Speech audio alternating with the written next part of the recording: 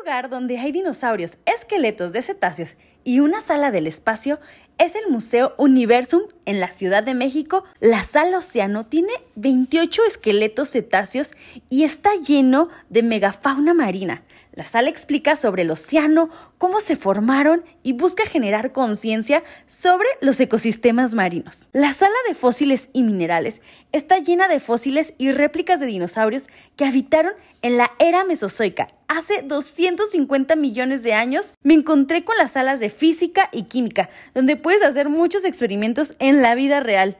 Y mi sala favorita, la del universo, dedicada a conocer los objetos que conforman el universo y la transformación constante en la que se encuentra, la evolución de las estrellas, galaxias y la exploración espacial, incluidas las rocas lunares y la llegada del hombre a la luna. Por supuesto, hay muchas más salas increíbles y si te interesa adentrarte